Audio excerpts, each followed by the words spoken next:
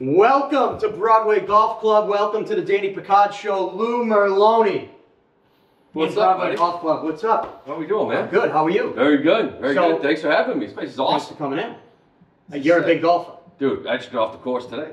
Where'd you golf? Marshfield Country. Marshfield Country It was Club. okay. Well, I, need to, I need to practice, though. I need to be in here. He he was already making excuses. He's stiff from 18 earlier. Yeah, I'm a little sore. we'll be good. We are going to do a, what do you want to do? Closest to the pin? Yeah, what the hell? Is that what we should do? Let's pick it up. We got the TrackMan fired up here at Broadway Golf Club in South Boston. Follow us on Instagram at Golf Broadway. Check out the website broadwaygolfclub.com. We are opening in November, by I know. way. I'm looking forward to it. We all are, believe me. We all are. um, where do you want to play? Let's go to uh, some tour venues. You're closest to the pin at, um, they just added Bethpage Black. Do you want to do that? Let's do closest it. to the pin, 161. I like it. There we go. Continue. All right, you're up. What do you want? You want a seven? No, I don't think so. Buck 61? Yep. What are you going with? Eight. Oh, wait, buck 55. Oh. Wait a minute. Wait a second. Wait a Hold minute. on. No, the pin's in front. That's why.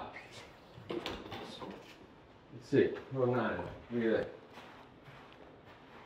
All right. Okay. Here we go. Get on this puppy. Just get on it.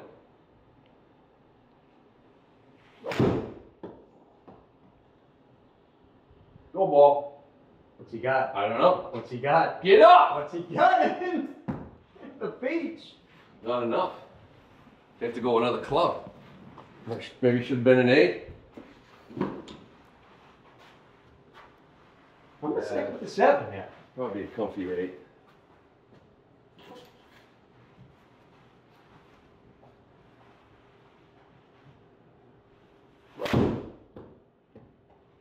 Oh, maybe a little, Little left. little left. I left. think I'm in the pit too. You went deep.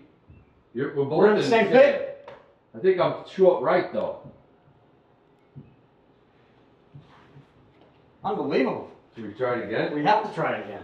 The people, the people want to see us put it on the green, not, put it in the sand.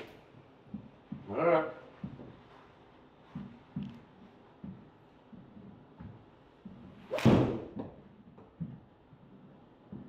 That's gotta go too, no? Oh, that's on. That's it? Okay. It's on. Yeah, it's on. All right, I'll take it.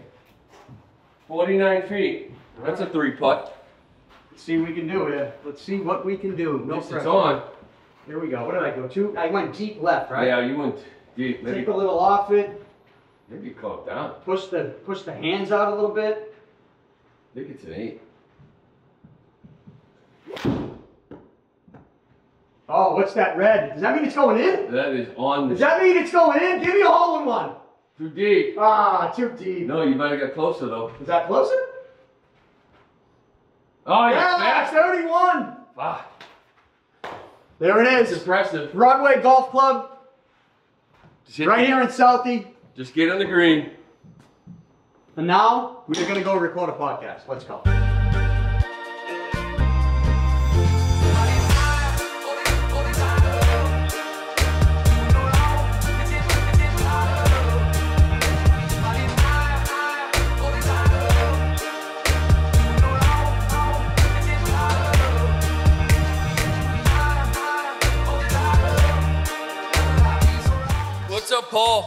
What's up, Lou? All right, man. Thanks for coming in. Behind the glass, Paul Price. There it is. I love this. Do you miss? It's a great setup. Do you man. miss being in the in the radio studio? I mean, I know you do. I, I know you're on the radio still calling baseball games. No. No, I don't. You don't miss being on the radio You- and being in the studio every day? No, I don't. You know how many times like I see like a story break and my first thought is thank God I don't have to talk about it. You know what I mean? I, Like, I like, know. I, I know what you mean. like like my world right now is just like Red Sox. Like the opposing pitcher, this team, this lineup, this what can they do to get better? What do they need to do? And then I, now I just casually watch the, the Celtics and the Bruins and Yeah. the Patriots. You know what I mean? But I don't have to. You know what am I going to talk about? What's my angle or this story or that story breaking? And it's just like no, I don't have to memorize the NFL cap and the NBA cap, and no, no, I don't need any of that bullshit. So you, it's funny you say, like, talk about the what's the angle going to be because Yeah. a lot of it when you're doing that every day, like in prime time, Yeah, it's it is really about you know what what is the angle, hundred right? percent. And and it's also like, uh, what's the discussion? And, and to be honest, and you know, it's like, okay, everything's going good. Is there is there a negative angle to bring into this Yeah. that gets a discussion, that gets reaction? Well, that's why not- I say for you when you're Yeah. doing it every day. I mean, when I was just doing it on weekends and we do the podcast every once in a while. Yeah. I don't necessarily have to lean that way because when you have four or five days in between, it's, easier. a lot easier to, Yeah. to say, well, here's some stuff that happened. Like I can just Yeah. Tell you how I feel about it because there's been so much time in between that th- there's a lot of thoughts Like in flowing the there. football You know, it's a lot of season- built up aggression. Like Monday, you break the game down. Yeah. right? By Tuesday, you're like, now what? We talked for four hours about Hmm. the game. On Wednesday, now what? We can't really hit on next week's game until Thursday at least, maybe, and then obviously Friday. But it's like, how do we do it five days a week? Hmm. You know, and that I don't, I don't miss it. I don't, I don't wake up like I'm just like, oh, thank God, I don't have to get in this world again. Well, also though, we're so spoiled. Like we we've seen it all. Like Well, there's really lucky. nothing else to see. And me Yeah. and me and Paul were talking about that on my last podcast, which is that I kind of feel like everything that's happening in Boston sports right now is like watered down. Mm-hmm. And I'm like, well, I think COVID you know, hurt some things for me. Like, like, like I just there's a lot of stuff that is not back to normal for me when it Yeah. comes to the pro sports leagues Yeah. Um, especially baseball, and we'll get into that. But I just think we've seen it all. We've seen the biggest Super Bowl moments. We've seen the biggest comebacks. We've seen the greatest of all time. We've seen, uh, you know, the historic Everything. We've breaking of curses. I mean, we've seen it all. You know, I was uh Sunday night. They showed. I went to this like early showing of the Netflix, the 04, the comeback. That's going to be airing Yeah, out here soon. out? coming out the end of the week, whatever, soon. And like uh, Colin Barnicle, Barnicle um, directed it. I think my, uh, Nick Barnicle was the producer. So you know, Mike Barnicle's Yeah. kids, and they showed the episode three of you know the whole. How many episodes is it? There's three. There's only three. I think there's only three of them. Yeah, but like this, so they showed episode three, which is the end. You know, beating the Yankees and winning a World Series. I think episode one is more 03. Episode two is like building this team together in 04 and throughout the season. But it was like it brought you right back into 04, like what it was like to beat the Yankees and to win a World Series, and then you saw a fan reaction of 86 years. You know, people holding up. My th- my, my my father thanks you. My grandfather thanks you, and it was like for a split second, it brought you right back before we won everything. You know what I mean? And it was like it's important to kind of feel that again mm-hmm. because like now when your team wins a, Super Bowl or NBA championship, it's like, yeah, we had the best team in the league that year, and you have bragging rights. 04 wasn't about that.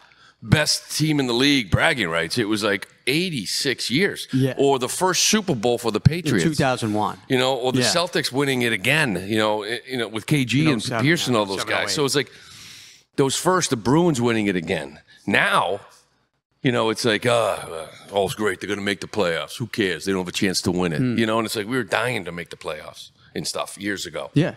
And it, it's it's so, but it, the point is, is that it brought you back to like what it was like when it was raw and you haven't won everything and how special it really was.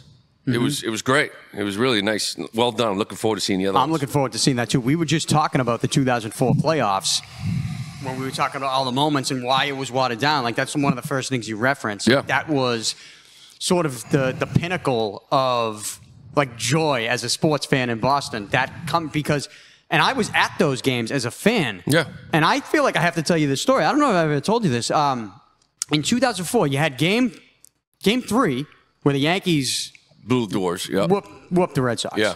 A Rod hit a Yeah. ball over Everyone the did. monster that still hasn't come down, Yeah. right? And that was it was it was over. We went into Fenway that whenever that was that next night. Yep.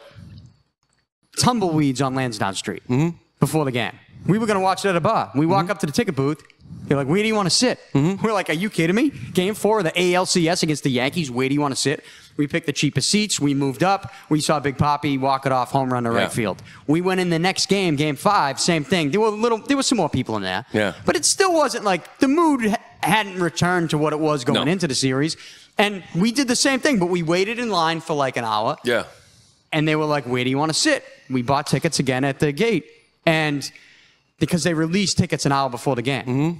I don't know if they still do. They did at the time, and then uh, obviously then you get you know bloody sock and then Yeah, game, no, in there game seven, and and you get to the World Series, game one of the World Series. I snuck into that game. No, you? Me and my buddy snuck into game one of the World Series. Yeah. And we signed up for every credit card known to man to get as many blankets as we could because it was freezing. Booed Woody Williams off the mound, and that that year was like again the pinnacle of It joy for a Boston was. sports fan. And then from then, and I guess you go back to when they won it in 2001, the Patriots, but Yeah. it still was like that was such a shock in 2001 that that almost didn't feel like that was great. But the Red Sox were different. Yeah. Right? It was a different type of. I still I still Joy. feel that way, and I know I used to fight that all the time on radio because the Patriots, like it was ridiculous to say that it's not always going to be like this, and people would be like, "Yeah, it is," and I'm like, "No, it's not." Yeah. Like it's been 20 years of Brady, and they're on top of the world, and everything evolves around the Patriots, and I get it. I said, but. I always felt, and I know I'm biased, that it's it still feels like a Red Sox town to me. You know, Celtics, Bruins, big, Patriots, I get it. But I was like, if the Patriots ever have four or five bad years in a row, Brady leaves, Bill ever left, whatever, like people are going to be mowing their lawn in the fall, Hmm. you know, with the game on the background, like whatever. It won't be the topic. And we're You definitely of, called that one. yeah, and, and but it was like you you just hate the Patriots, and I'm like, no, it's just the way it is. Like, like the Celtics are on a great run right now. You know, I mean, I think we all remember when the Celtics were like, well, they should they should tank to get the number one pick for mm-hmm. years. You know, like what are we doing? And and the Red Sox have have had a run here now recently, where it's just whatever. But the team that's on top, that's what people in Boston give a shit about. Like that's when it gets big. It's just that most sports fans in Boston that were like 27, just at 20 years of the Patriots since they were seven years old. It's all they know, and they Yeah, can never they even know. think of the Patriots not being great, the Patriots not being relevant. And it's like the team that's relevant is the team that wins. Hmm. That's why the Celtics are probably the most relevant team right now because they're a great team. They won a championship. I don't know. I think the Patriots might be the most relevant team right now, only because Drake Maye. because of Drake Maye. Well, They're one also be- six. well, because Brady and Belichick just won't go away, and they're Well, talking yeah, about the Patriots now from afar with the media. Yeah. So I think you're getting they're staying in the news because of that. Yeah. Um, but I get what you're saying. Like it's not always we're not always gonna be because when when Brady and Belichick were here, every single season you look at the schedule, you go 11, 12 wins, gonna win the division, gonna get to the AFC Championship. Yeah. 12 wins. And we were so spoiled with that mindset. Yeah, 12 That's what kind of what the Kansas City Chiefs are now. Like Yeah. if you're a Chiefs fan, you're probably doing the same thing. Yeah. Like you're going to get to the AFC Championship, mm-hmm. and who knows what happens. If you're healthy at the end of the year, you're going to win 12 to 14 games, AFC title game, have a bye, although now maybe a little harder to get, but still. And that's it. Go to the Super Bowl. We'll have two more weeks of it. It'll be beautiful. And the football season ends mid February because we need a week to talk about the Super Bowl. Yeah. Like that's that's basically what I did in radio for all these years. Mm-hmm. Football season ended mid February. You know, that one year, like the last year, I think I did it and they just didn't make the playoffs. It was like, what do we do? Like, what do we do from January to what? Hmm. To like NBA playoffs, NHL playoffs, because it's, you know it's March, April. It's sort of like you're just waiting for those teams to get to the postseason because at that point you're just playing it out. yeah. know. Well, now you're just baseball. That's it. Are you? Is it just Lou now? Is it just Lou Merloni in there? You got Joe Castig. He's he's done. He's retired. Yeah. Um. Joe's yeah. Yo, Joe is is retired from a permanent spot. Yeah. You obviously have the. But he'll be. I got a feeling he's going to end up doing some games. Oh, you think so? I do. Like you know, I'm not like a lot, but Yeah. he'll pop in. You'll, I think you'll hear his name once in a while. All right. I don't know if he can walk away from it. But I mean, you you must feel like a ball player again, right? Doing it Yeah, the all travel. season. Yeah. You know what I mean? Like you get down to spring training and then the games start and you call a game. It's great, you know, because I mean you try travel with the team, you stay with the team, you go on the road. I did like 100 and almost 110 games um, of 162. That's what I was just going to ask you. How Yeah. many games did you do? That's what I did last year. But the beauty That's of still it, a lot. It That's is. what the season should be. Should be 110. probably like 154, right? Like just eight more. You'd be amazed how many more eight more days off would be, you know, on like a regular schedule. Yeah. But now it's like this game seven is November 2nd. Game one is March 29th. You know what I mean? It's like, Jesus. Like April they- 5th used to be need- opening day. Opening day should be May 1st. and then the season should end September 30th. And then Yeah. that's it. Playoffs. Playoffs should be over September 30th. No, excuse me. Pl- um, the playoffs should be. No, the playoffs do begin like October Yeah. 1st, 2nd. But the regular season should begin later, in my opinion. Yeah. Well, it's March. Like I said, now it's March. Uh, Yeah, but, March that'll- that'll 26th, never 27th. Happen. That'll never happen. Like you know, shorten the games, less money. You know. Do you like the I don't pitch think clock? that'll happen. I love the pitch clock. It's the best thing they ever did, and it's not changing the game. It's just getting back to what it was and what it should have been. You know what I mean? What it should be. It's it's not be like, oh, stop trying to change the game. The game sucked. Three and a half hours long. Guys taking 35 seconds between pitches to throw a ball one and then do it again. Like there's just there was no need. There was no action. Now it's like grip it and rip it. Let's do this. And hmm. it's you know, yeah, the game's 240, 245, but there's more action. It's so much better. So much better. I love it. Yeah, I think like you it. say that from a different place because you're. Calling the games and what Yeah. I'm over with. But it's not even that. It's just you just want action. You know? From a fan's perspective, too, I, I love it. It brought me back into baseball. Yeah. It really did. I mean, it's just it's you know, two and a half, two forty. It's not like a three and a half hour game, and, and it's just all of it. Even like the extra inning shit, like in in regular season, the man on second. I know people like it's it's kind of jokey. I mean, I don't know. NHL's like three on three, ain't it? Like whatever it is. Yeah. So, uh, but it's like it. That one's not as bad. No, I don't mind it. I like it. The runner on second's not as bad.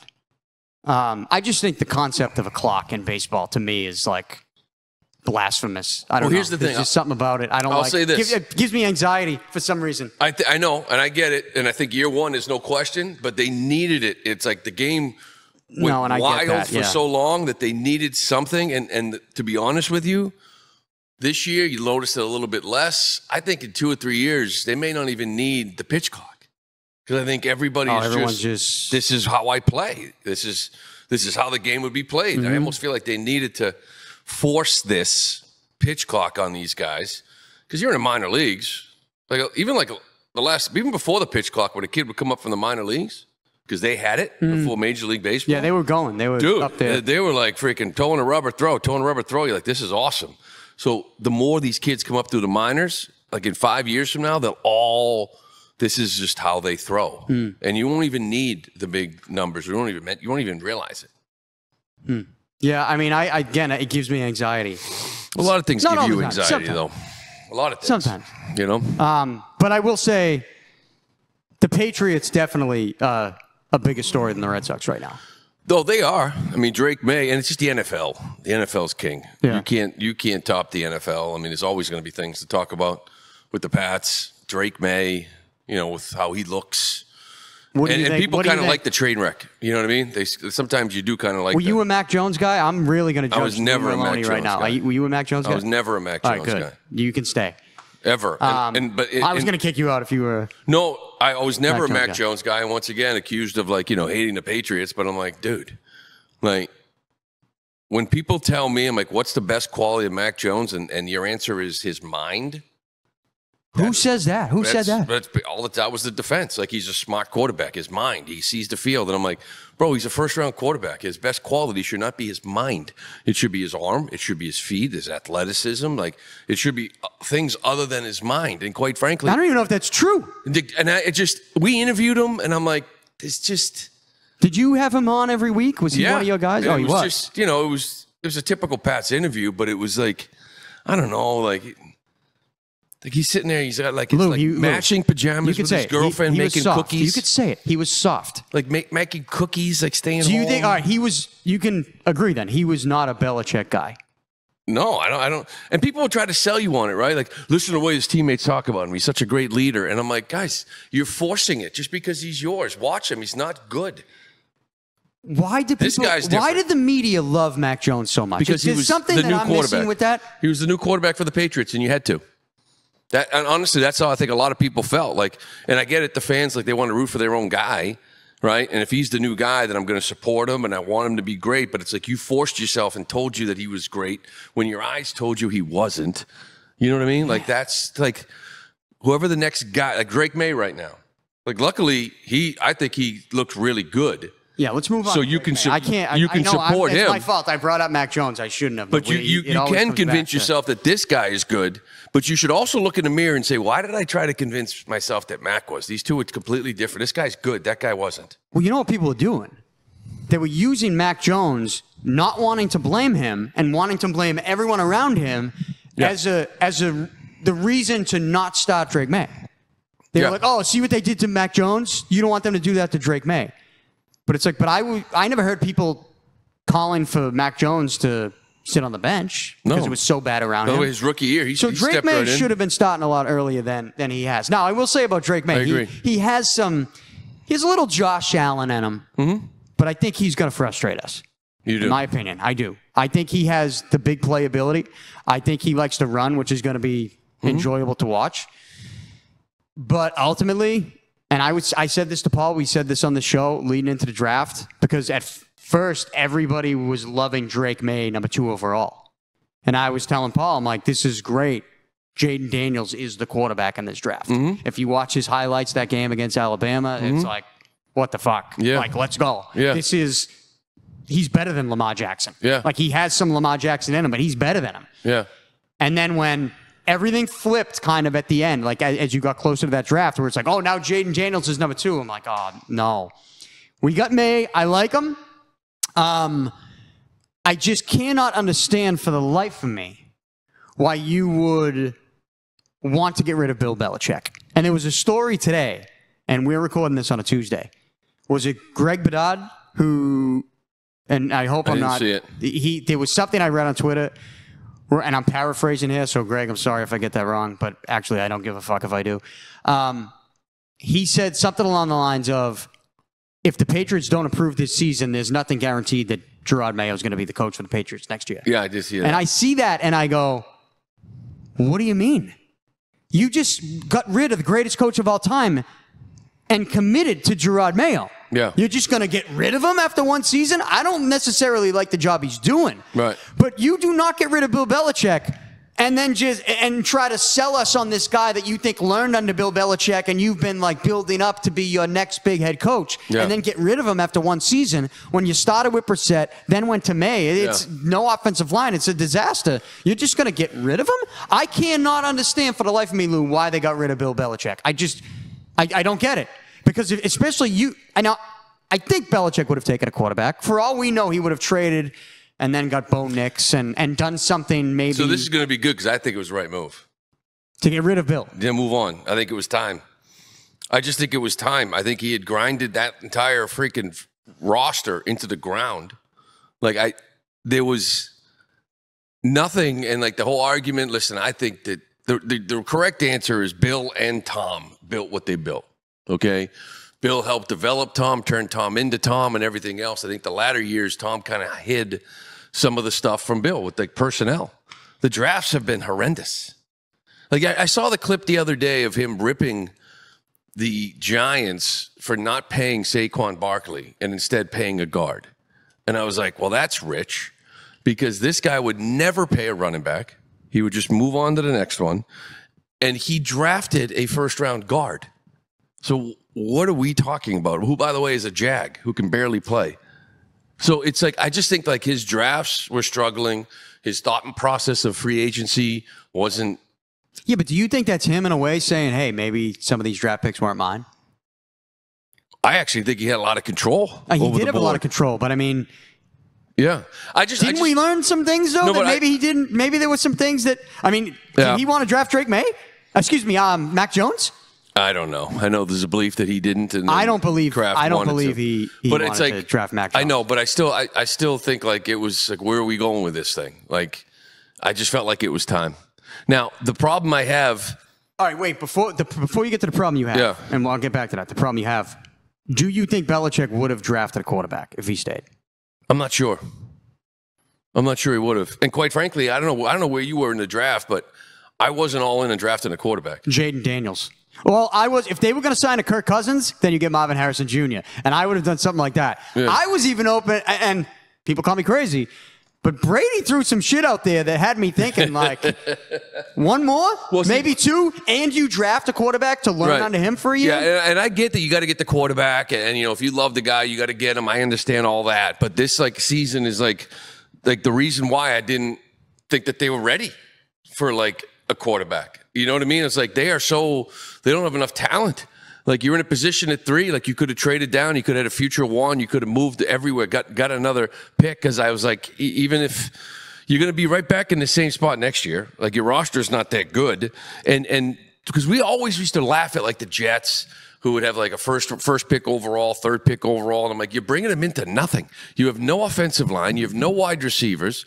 How are you even going to find out if he's any good? You know, now Sam Darnold's actually what is he good? Like now, where's he? He's out in Minnesota. So, like, all He's of a sudden, he's it. good because well, why? Well, because he's got better players around him. You know, and people always talk about, well, look what Houston did. They got Stroud, and right away they're good. No, no, they they signed like one of the best free agent run, uh, linemen. They drafted like linemen like two or three years in a row. They drafted a couple wide receivers. Then they got Stroud, and I think it was either Nico or Tank Dell in that same draft. And it was like, Yeah, we but built Stroud, the team yeah, first. Nah, see, I disagree. And You I want the quarterback if you think I you want got the him. quarterback. Again, I look at Houston and I look at Stroud Mm-hmm. because I've had these arguments on my YouTube channel and some of these videos with people when they're like, "Oh, Houston's stacked. They got Nico Collins." I'm like, Nico Collins was nothing before C.J. Stroud. Mm-hmm. It's you know, C.J. Stroud got in there and was just this young quarterback. I didn't see that coming with him, but when you watched him play his rookie Yeah. season, it's like jumps off the screen to you. And I think when you look at Sam Darnold, he always had the talent. And I know it's like, well, he has some more talented people around him now, but I just think there's a lot of confidence in his game. Mm-hmm. And I think everybody, I, I look at it this way this is how it should be.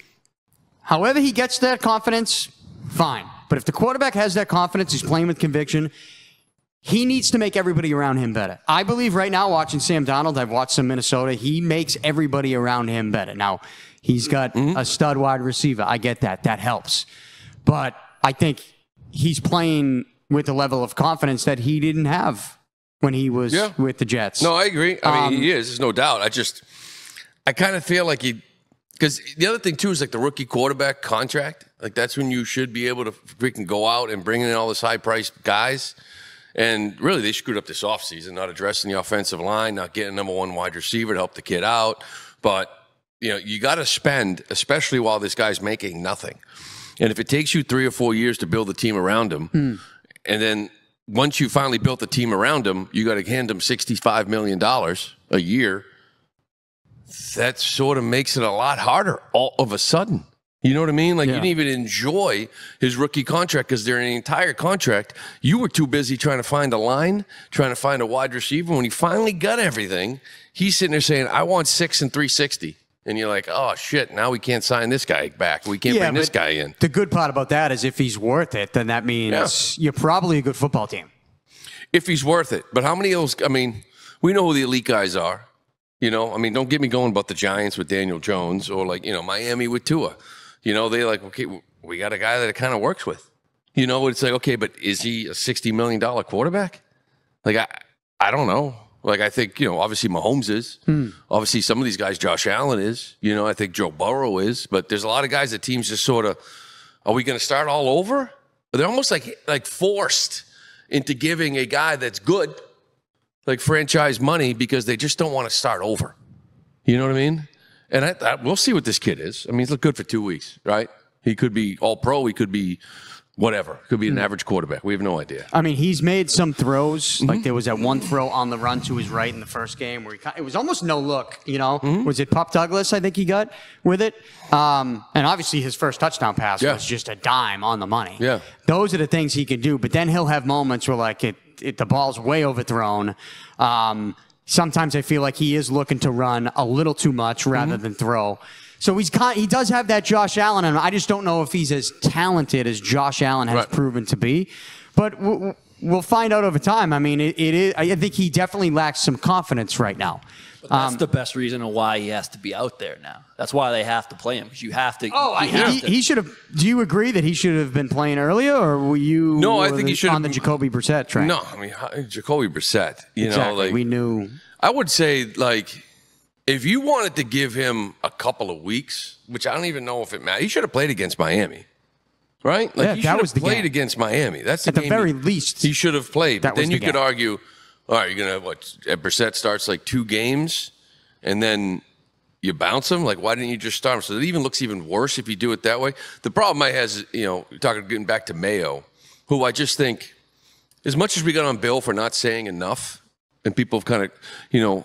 Mixed that up, saying, "Oh yeah, now you think Mayo talks too much. You rip Belichick for not saying enough." There were just moments where Bill was like an ass at times, right? Just with his like not saying anything. I get it, whatever. Mayo Hmm. Says way. Mayo talks too much. I mean, you can't come out and say it's a competition. He's doing that on purpose, you know. But you can't He's come out- trying to be anti-Bill Yeah, Belichick. well, um, I know, but it's like you could tell that this guy, I think, Mayo wanted to play Maye from the beginning. When you come out publicly and say that it's it's a competition in camp, and then come out publicly and basically say that Maye won the competition, was a better quarterback, but we're still going to go with Brissett.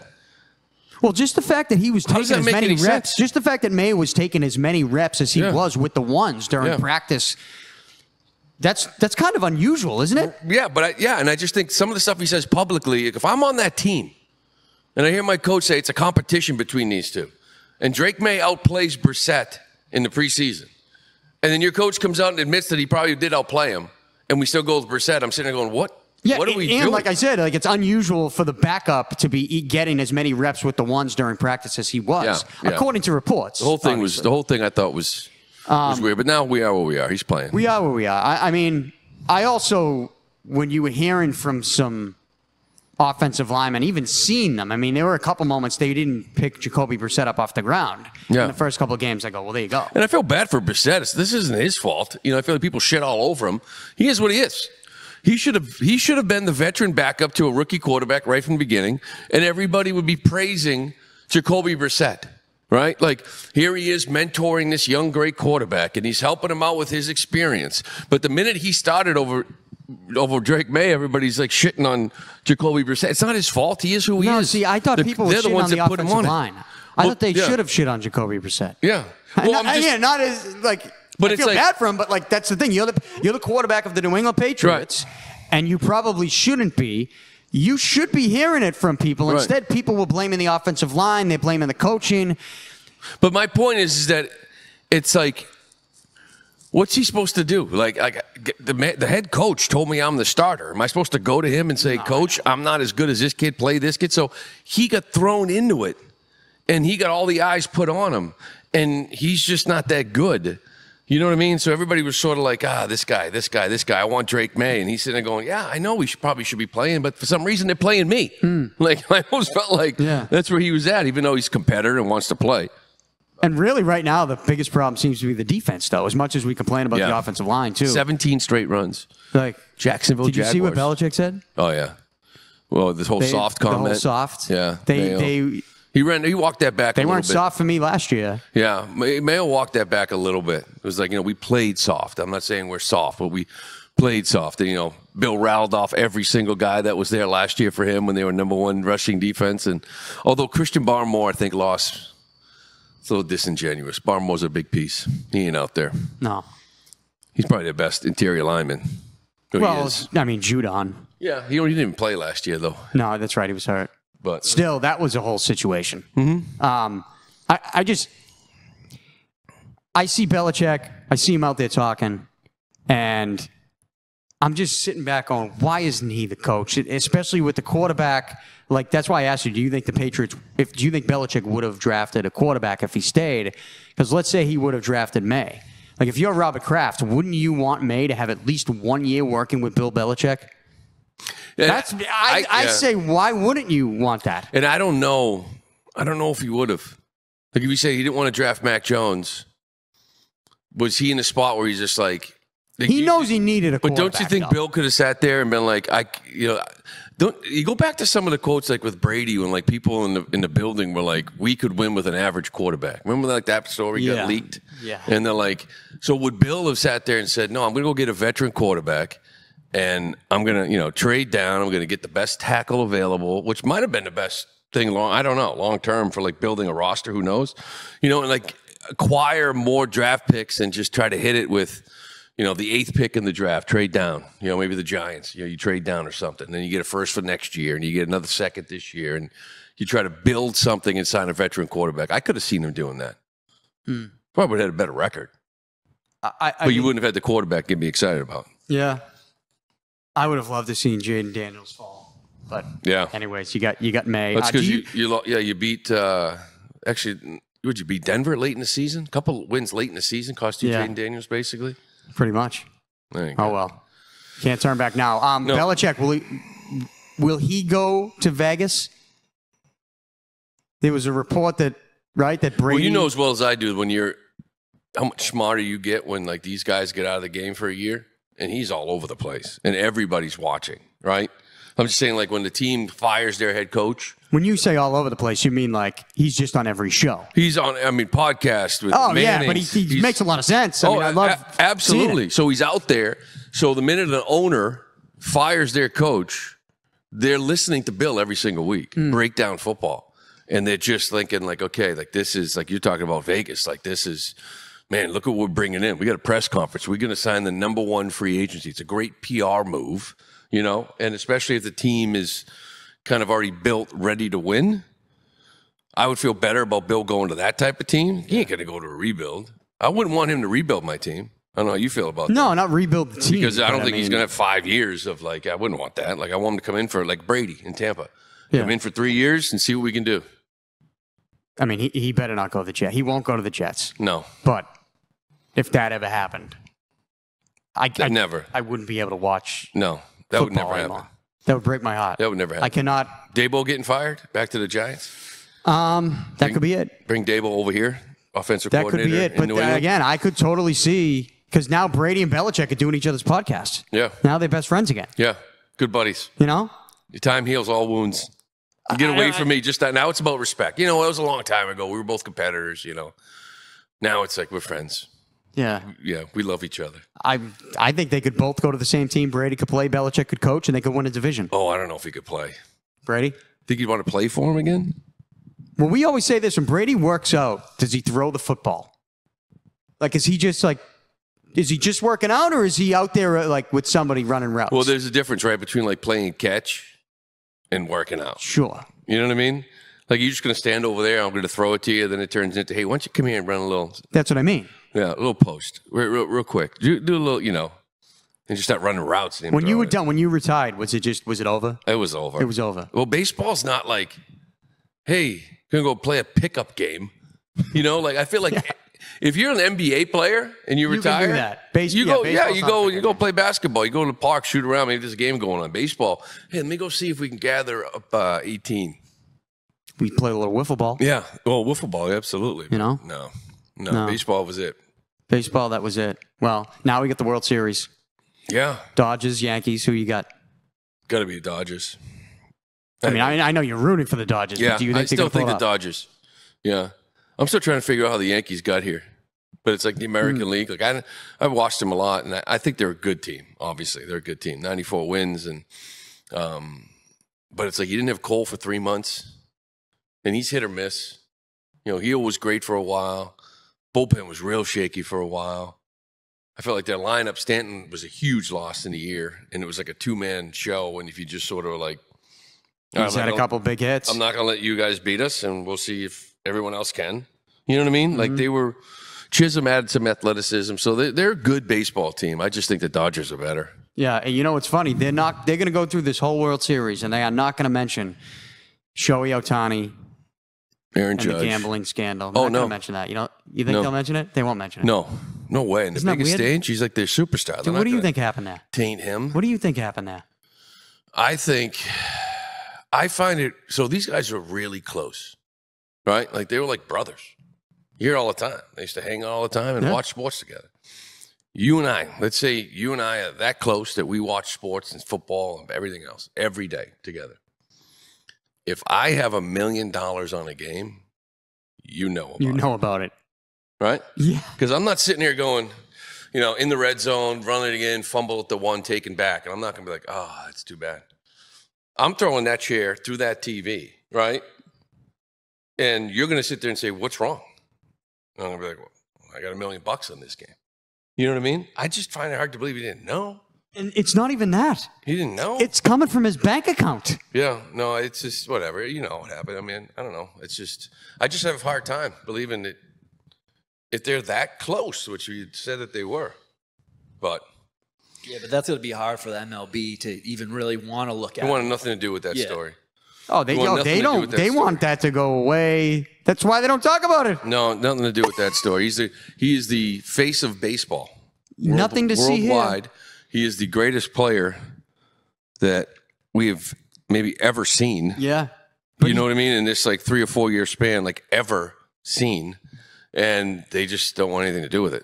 Just want to get it over with, get it out of there. The guy's good. He's gone away, and it's over with. Let's Hmm. just move on and talk about the World Series. That is crazy. But I mean, he is the biggest name. Yeah. And he did something the other night though. Did you see this? The video where he swung and missed and then looked at his dugout? Like what Like what- was that like you guys told me it was a high fastball and it was really a breaking ball That's the way it was portrayed, right? And they had the numbers out there, and it was like him with nobody on, you know, versus people on. Like, you see what he is? What's I, he's hitting like eight? Oh, but hey, listen, eight you know, you know that I like to dig into the sign stealing yeah. stories. Well, he's you know hitting what I like mean? eight eighteen with guys in scoring position. Like it's something like sixteen for nineteen or something like crazy. Um, but with nobody on, he wasn't getting any hits, which is I, I don't know. It's it's it's like usually with guys on base, that's when you start getting into it now, right? With like stealing signs and and now with the PitchCom, I don't know how you do it, but you can steal location. I, you know, a lot of it honestly is probably on the catcher, like the way catchers set up. They're looking at catchers now, just the way they set up. Hmm. More than anything, this guy goes down on one knee, on this knee, maybe that knee, or just you know, like the way he sets up. They're looking for tendencies of catchers to kind of determine what's coming. So I, I don't know what that was all about. And they're like, you can't hit with guys, nobody on base. You just can't get any hits. And the next night he comes up first at bat, nobody on, he hits a homer. And they're like, yeah, well, okay, that theory's dead. Yeah, I'm not trying to take anything away from Yeah. Shohei Ohtani, but I, I do love say, the- when I I, do- did that sign stealing story Yeah. a couple years ago. The, one of the anonymous players told me that out of all the teams in the league, the Dodgers were one of the best teams at stealing signs. All the good teams, You know, really. They have veterans. Did- There- and there's so many different, did you ever there's so many different ways. steal a sign? Let's be honest. Did you ever steal a sign? No, like honest to God, with teams that I played on, it was never like on second relaying signs. It was always study the pitcher. Is he tipping? You know what I mean? By the way the glove comes up, is he fan it? Where is he hold it his belt? Does he hold it his chest? Is it further away from his body, hmm. closer to his body? Like those things you studied. And and you know, if you got it, or if you just got one pitch, like you just got his changeup, you know, you you you're like, okay, at least I know when the changeup's coming. Now I don't know fastball slider, but if I see this 1-0 changeup, I can sit on it. You know what I mean? Maybe now I can go after it. Or 1-0 changeup, I can lay off of it, get it Yeah. to a 2-0 count. But it was more of like tipping pitches than it was any of that other stuff. Like I, I was never on a team that was really deep into that. But now it's Now it feels like just talking to You to people do that you have teams have sign stealing scouts Mhm.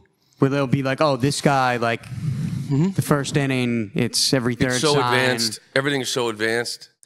Like base stealers have tips, you know, from pitchers of when they're throwing over and when they're not. Yeah. Like there are legit, like you know, the good base running coaches. They study this stuff. Good base runners study this stuff.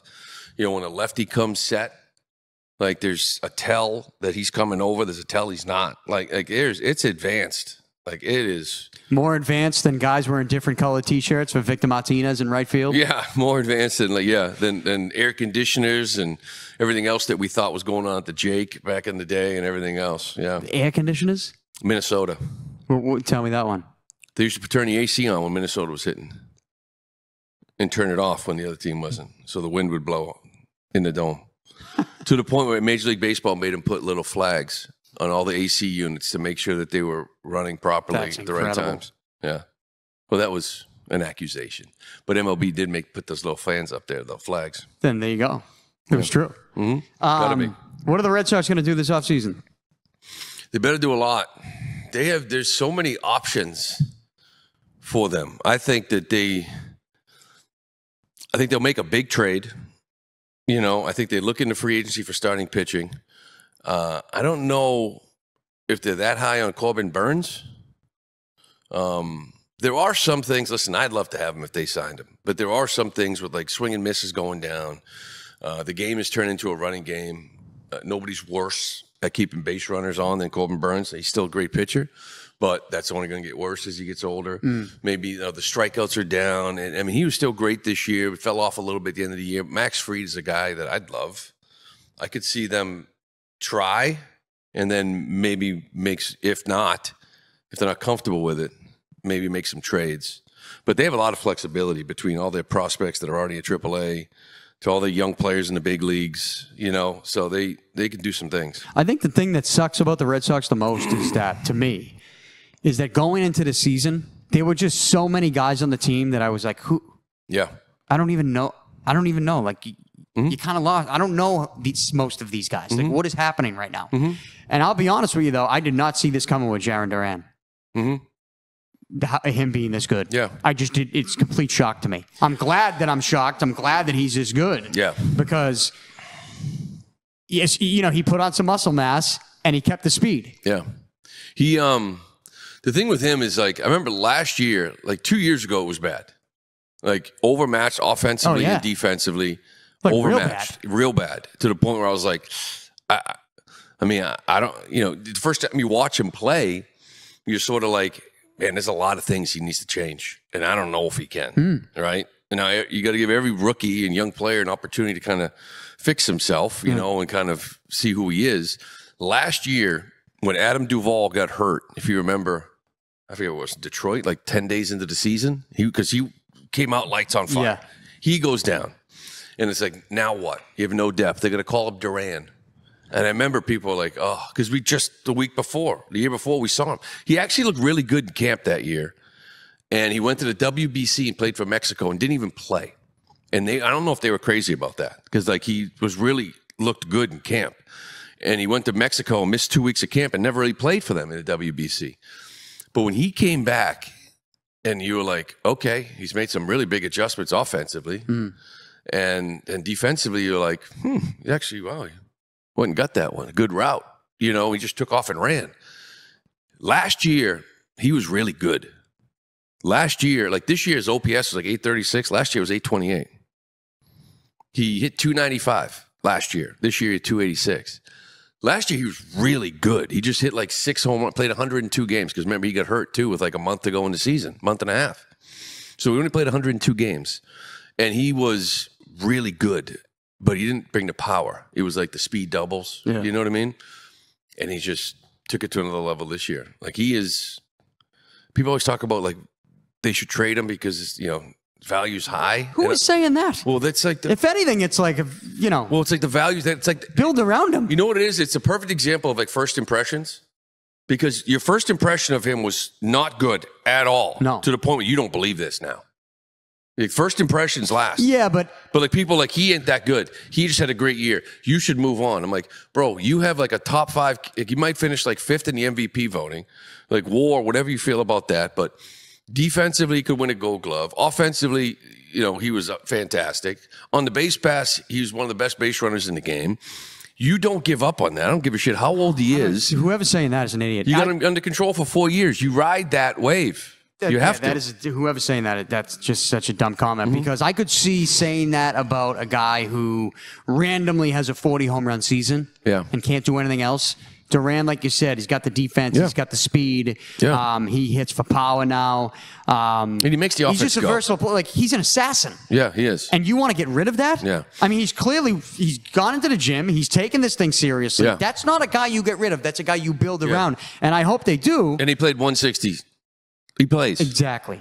You know, it's not like And I never saw any of that coming but that's not the reason I would want to get rid of him. I, you, you cannot No, get rid of no. Jarren Duran. I don't think so. No, but it's you got to get that ace, right? You got to get that guy. Um, where are we with Bello? Uh, I expect him to be a lot better next year, more consistent. I think this year it was like mentally. I think it was just he was lost the first like two three months. You know, he signed he signed that contract. They gave him the opening day start, and I think he just sort of was like, "I've arrived," and you know he went out Too much. it, I think it Right? was like I think it was because I think he just earlier in the year he he go out and he was like, all right, my game, I'm the dude, I'm the guy, I'm gonna go dominate. You know what I mean? And he would give up two in the first, and it was you know kind of like well that that- today's not my day. Time to take my ball and go home now. You know what I mean? It was like mm-hmm. Two in the first, and then maybe get through the second, and then the third was a leadoff walk. You know, then it was a double. And then, you know, then he get pissed. And then he'd hang a changeup three run shot. He gives up five runs in four innings. You know, and it was like he'd let things snowball and like mentally just sort of lost that focus because he, he was trying to be perfect every night. He expected to be perfect.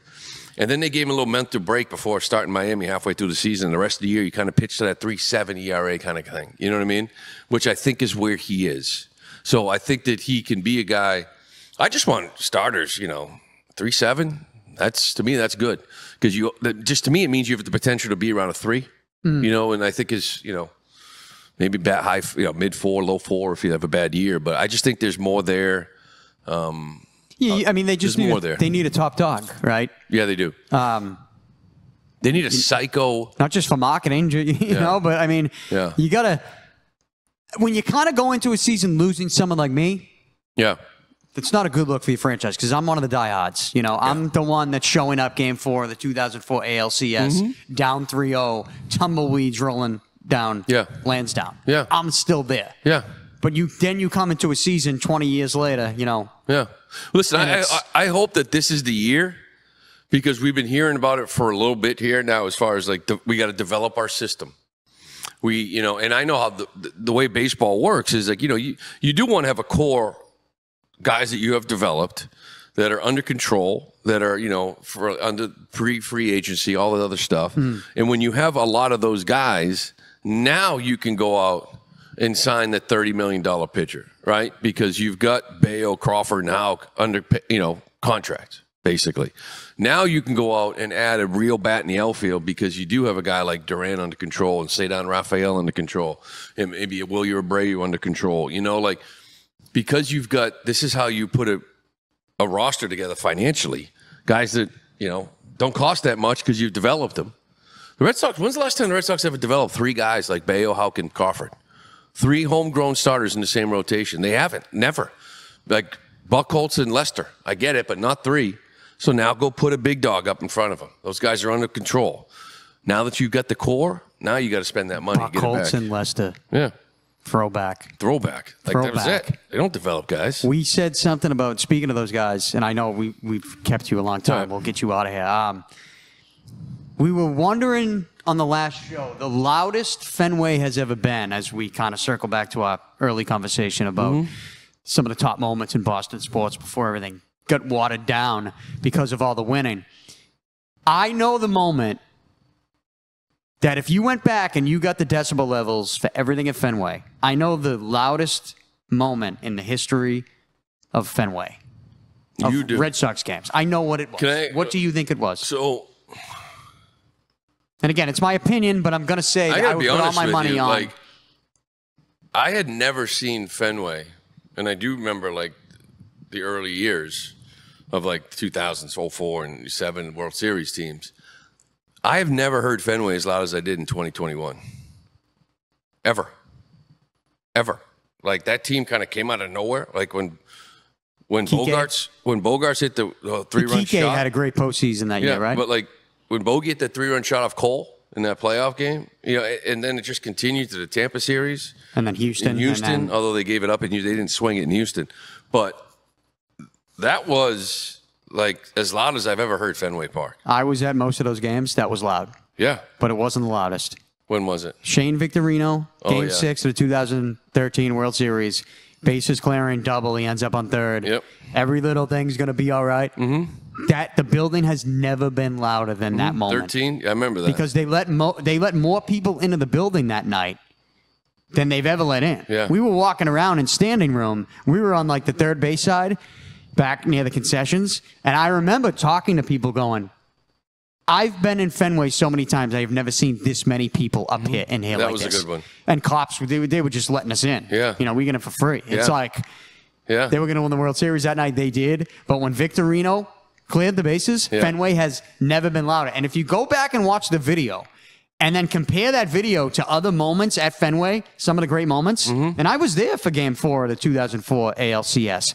Papi to right field. I was there game five. Papi up the middle. We'll see you later tonight in New York. yeah. That was loud. But it wasn't 2013 Yeah. Shane Victorino loud. And I hope if you ever talk to him, you tell him that he he is the reason for the loudest moment Yeah.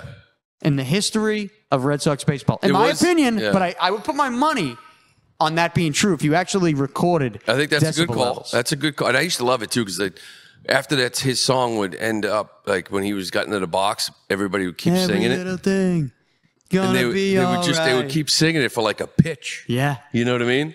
And that night too, you could hear the pop with Yeah. the ball on Fox. That you was huge. I remember I that. watched that game over and then he got we up and there. did the whole did this. I think on third base.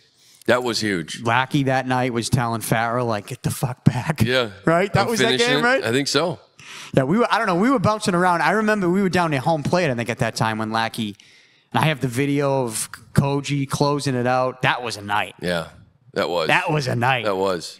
and That then was the 18, 2018, I think was the last time I saw you.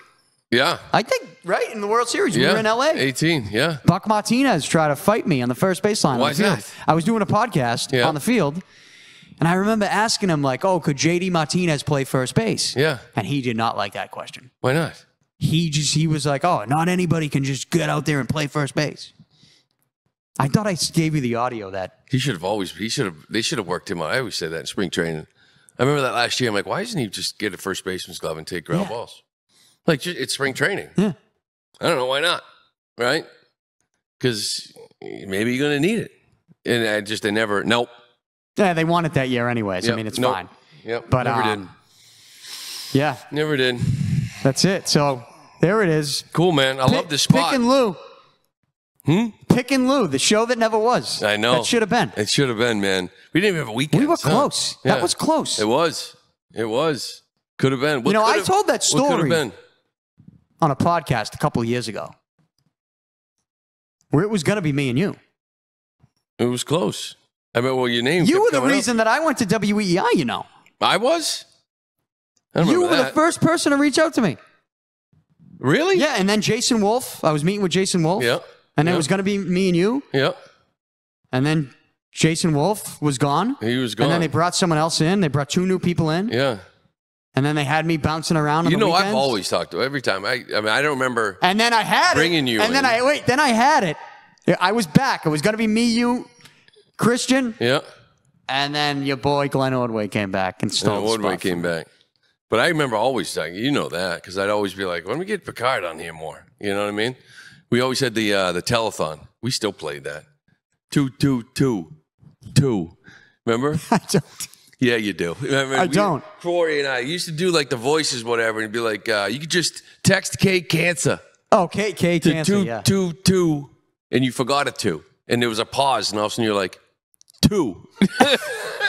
and we used to play that. We used to play that sound a lot, especially during the uh, telethon, because you always be like, you could text K cancer to two, two, two zero, two, two. Two. yeah, they, they just didn't want me to do it live. They they K just, cancer. People are like, K what? I'm like, cancer. yeah. No, that was Well- great. Good times. Um, good times. Lou Merloni. Good seeing you, man. Good seeing you too. Glad you're doing well. Thanks this place is coming in. awesome. I can't wait. It's a few weeks be great. away. A couple weeks away. This is gonna be Doors are gonna be open. Place is gonna be rocking. Yeah. Hope you come in. I will. You know, I will. bring the My family nephew lives in. down the street, man. I'm going to bring him in.